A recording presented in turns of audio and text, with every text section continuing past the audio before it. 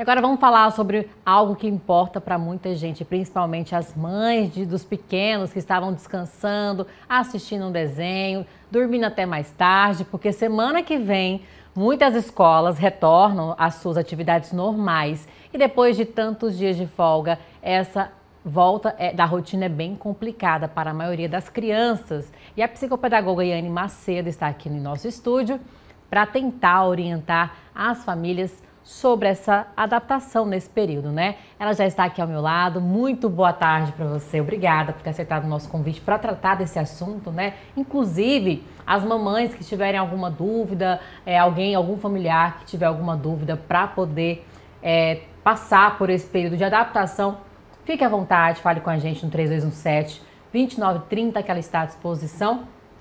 Então vamos começar falando aqui sobre é, essa rotina, as dicas assim, é, da, o processo de adaptação, como que funciona esse processo de adaptação? Sabemos que aí algumas crianças ficarem por cerca de 30 dias, né, sem fazer absolutamente nada, só divertindo e agora começa a rotina escolar. Obrigada mais uma vez pela, pela sua participação. Boa tarde. Boa tarde, Ana Paula. Obrigada pelo convite. É, falar da rotina é muito importante quando a gente tem crianças em casa e principalmente nesse processo de retorno às aulas. E a dica que eu já tenho dado, né, é que comece a introduzir nessa semana ainda a readaptação dessa rotina, com horário para dormir, começar é, a rotina também com o limite para o horário do acordar, para as crianças que estudam pela manhã. É muito importante a construção dessa rotina é, de forma antecipada. Não deixem famílias para o dia do retorno das aulas é, para fazer, né, aquela exigência da criança é voltando se deitar, aos poucos, né? É, e o acordar cedo, porque de forma muito abrupta gera né, aquele estresse, tanto para a família como também para a criança. Por mais que tenha aquela ansiedade natural da criança, do primeiro dia de aula, o retorno, mas o cansaço também ao longo do dia, é, o, o, excesso também né, de, de da noite é, acordado, fazendo algum tipo de atividade, jogando. Hoje as crianças são muito tecnológicas, elas passam é, a maior parte aí da, da, das férias jogando, é, é, construindo aí as suas relações virtuais através da interação que os jogos eletrônicos hoje proporcionam. Então é muito importante que as famílias já comecem, né, é, se possível, é, fazer esse, esse, trabalho gradativo, é, já começando aí da segunda-feira. Geralmente as aulas vão começar é, na quinta, sexta-feira, por conta aí do dia 31, dia 1 é, do primeiro dia letivo, mas é importante que, se possível, já comece essa introdução dessa rotina, a adequação dos hábitos, né, a higienização do sono é muito importante, a rotina do dormir, a construção dessa rotina do sono, que a gente fala muito quando as, quando, quando as crianças nascem, né, com os bebês, a rotina do sono. As crianças maiores, elas também têm essa necessidade para começar a desacelerar, para começar a ter uma produção também, né, é, de hormônios, né, da melatonina, para dar essa, essa tranquilidade, para propiciar essa melhora da qualidade do sono noturno. Então, a adaptação antecipada, costumo dizer que é, é o melhor remédio, a melhor alternativa para que a gente não tenha aquela primeira semana tão agitada, com muito estresse, acordar logo muito cedo, brigando, insistindo, né, para que levante da cama mais cinco minutos, mais dois minutos, aquela preguiça que passa muito rápido amanhã. Uhum. Inclusive, já falou sobre é, esse processo de adaptação começar um pouquinho antes mas para que aconteça de forma suave, além disso, qual mais é, dica você dá para essas pessoas para que aconteça de forma suave, sem estresse? Eu costumo dizer que a gente não pode deixar é, as situações incendiarem para que a gente comece né, é, adotar, adotar medidas aí, é, preventivas. Um, um, outro ponto né, que eu já até mencionei aqui, a limitação já do uso das telas, já é muito importante. Não fazer isso somente no período, por exemplo, das, das avaliações em que há uma exigência e dedicação maior dessas crianças. É muito importante que, de uma forma geral, as famílias tentem manter esse controle, limitar esse tempo aí das telas, dos jogos, sejam eles, sejam eles né, os eletrônicos, sejam eles é, os do, dos celulares, dos smartphones, enfim, é muito importante também né, a imposição desse limite, porque o excesso de telas é, traz uma série de consequências que hoje né, os neurocientistas, os neuropediatras, eles estão aí apresentando para a gente, tal que recomenda-se o uso de telas a partir dos dois, anos de idade, com no máximo em torno de uma hora e meia a duas, né, se se, se não houver mesmo alternativa de outra atividade, de outra forma de passar o tempo dessas crianças. Então é muito importante a construção de uma rotina fixa, não é somente aquela rotina do acordar, tomar banho, tomar café, se arrumar ir para a escola, volta, estuda para aquelas crianças que não têm o ensino integral. É importante a construção também de uma rotina de hábitos no tempo livre dessa criança. E aí entra aquela dúvida, mas eu brincar, mas eu tenho que dar criança ser criança. É justamente aí onde deve entrar a Dá construção encaixar, né? dessa rotina. Porque o que a criança precisa ter desde cedo é essa consciência de que ela tem responsabilidades também. E elas gostam de se sentirem importantes, inclusas na rotina. Então, começa adaptando, criando atividades pequenas, responsabilidades pequenas para essa criança na participação da rotina da casa. Porque aí evita, por exemplo, quando chega lá na adolescência, aqueles outros problemas. Cresceu, não ajuda em nada, a gente nem a cama quer arrumar, nem a toalha quer tirar de cima da cama. Esse tipo de situação que a criança não teve aí a construção desse hábito. Então, como é que na adolescência, de repente, por mais e que a gente veja... na vida adulta, né? Justo.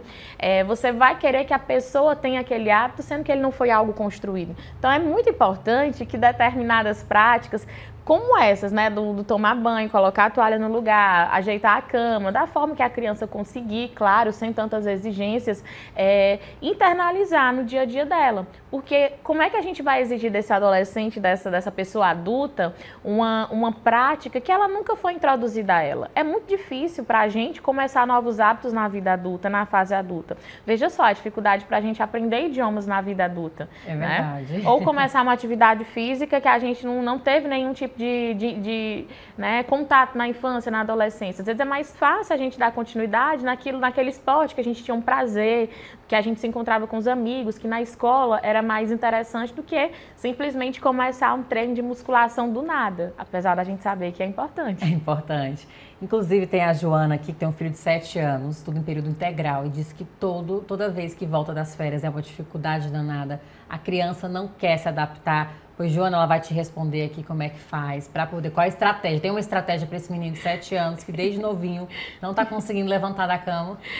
É, Joana, tem muitos fatores aí, né? O, por si só, o ensino integral é, traz aí um gasto muito grande de energia para essa criança. Então, as férias dá aquela concepção de liberdade para essa criança, de tempo livre, de poder né, respirar um pouco mais, de conseguir ser criança, de, de estar né, vivendo aí esse tempo livre dela como ela acha que convém.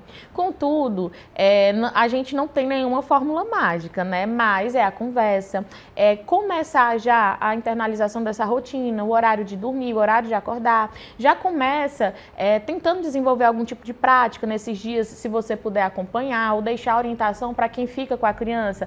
Vamos aqui tirar hoje a hora para pintar, para fazer o desenho, é, alguma prática né, que de alguma forma já seja associada à escola e que dê prazer para essa criança. Então, eu costumo sempre dizer que massinha, argila, tinta, é, é, pintura, né, telas, papel, sempre são estratégias muito interessantes para a gente estar tá gastando a energia dessa criança e também desenvolvendo habilidades é, relacionadas à coordenação motora, criatividade, a cognição dela. Às vezes, num desenho, no momento de pintura, a criança ela se sente é, muito livre, é, não de forma é, física, né, para correr, mas a imaginação. E às vezes ela quer ver, ela quer tentar ali naquele, naquele rabisco, naquele desenho, expressar o que ela está sentindo. Quando a mãe, o pai, algum adulto, né, é, consegue dar esse momento de atenção, elogiar, é, mostrar que está ali presente acompanhando esse momento, é um momento que ela se sente muito valorizada também. Então, às vezes ali você consegue também fazer uma investigaçãozinha. E o que é isso? Tá, mas por que, que você colocou isso? Você gosta disso? Você não gosta daquilo? A gente consegue também explorar e conhecer a criança de outras formas nesses momentos de interação em que a gente permite, né, ela ser livre através da criatividade e da imaginação dela. Inclusive, a escola tem um papel muito importante, né, para que a criança retorne para as aulas sem ter essa preguiça, essa falta de vontade. Tem um papel muito importante, tal que nos anos iniciais, ensino fundamental menor, muitas escolas, né, elas fazem essa semana de acolhimento, constroem muitas estratégias didáticas, que é para realmente não deixar as crianças caírem no sono, não ficar com aquela aparência de sonolência. Então, é uma semana de acolhida que muitas escolas é, promovem vários tipos de atividades, que é justamente para poder dar esse up nas crianças, né, para poder não deixar essa energia cair, não ficar aquela sonolência, aquele desânimo da sala de aula. E, né, promover promover essa conscientização, esse retorno, essa readaptação dessa criança no ambiente escolar. É aquela semana que muitos pais às vezes acabam até achando que não tem tanta importância assim, porque vai ser só o brincar. Mas é válido a gente pontuar que o brincar promovido ali na escola, nos espaços de aprendizagens, é um brincar educativo, é um brincar com propósito, é um brincar que visa justamente é, fazer a readequação daquela, da, daquela criança dentro daquele espaço de aprendizagem, é explorar habilidades dela que muitas vezes a gente em casa não consegue explorar. Então, é, essa semana eu costumo sempre dizer que é muito importante. Muitos, muitos pais de pacientes, né, que deixaram para viajar agora, é, fazer a semana de férias. perde as primeiras semanas de aula. Achavam né? que, e quando me falaram sobre isso, né, pontuei pontuei a necessidade dessa semana na escola, porque é justamente uma semana de atividades que é para promover essa interação entre as crianças, esse reencontro, essas estratégias para que as crianças consigam se sentir bem novamente naquele ambiente. Então veja só, criança viajou, agora na última semana de férias, perde aí as, as, as a primeira semana, a segunda, volta já naquele outro ritmo. É, uma, é, uma, é um outro tipo de frustração que essa criança vai lidar, não é somente a frustração do acordar acordar cedo, do, ter, do é, de ter que fazer ali toda aquela, aquela é, exigência né, até chegar na escola para os que estudam pela manhã. É também uma frustração de ver os colegas num outro nível, de saber o que teve, é, aquela relação de, poxa, mas por que, que eu, é, é, eu não estava aqui quando isso aconteceu? É saber que veio um brinquedo diferente para a escola, que a professora é, ouve, por exemplo, né? Um banho, alguma coisa que as crianças gostam e ter essa possibilidade de estarem é, socializando umas com as outras. Então, eu costumo dizer que é, o ideal é não perder essa primeira semana de aula, é, não achar que a primeira semana é só brincar, porque de fato é um momento de interação, de readequação dessa criança nesse ambiente de aprendizagem.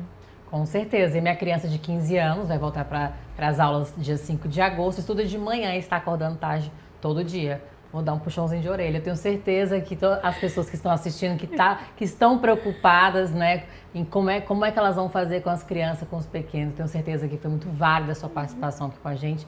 Quero te agradecer e deixa um recadinho aí para as mamães, para os papais aí, os avós que vão passar por esse processo. Obrigada, Ana Paula, mais uma vez pelo convite.